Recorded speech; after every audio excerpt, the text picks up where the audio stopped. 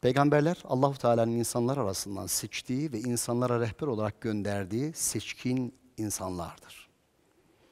Evet onlar bir beşerdir. Evet onlar bir insandır. Ama onlar vahiy ile terbiye edilen, eğitilen, ahlak ilkelerini vahiden alan önder insanlardır. Hazreti Adem'den itibaren bütün peygamberlerin hayatına baktığımız zaman aslında bu ahlak ilkeleri dediğimiz temel ahlak ilkeleri, evrensel ahlak ilkeleri dediğimiz normlar bütün peygamberlerde aynıdır.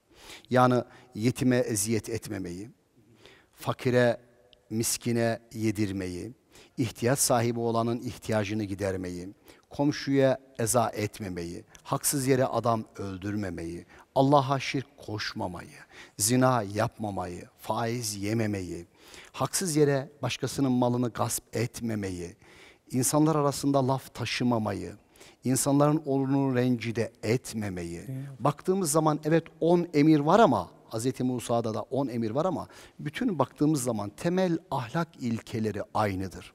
Değişken olan örfler, adetlerdir. Örf ve adetlerdir. İslam'a ve güzel ahlaka uyan örf ve adetleri de zaten İslam almıştır.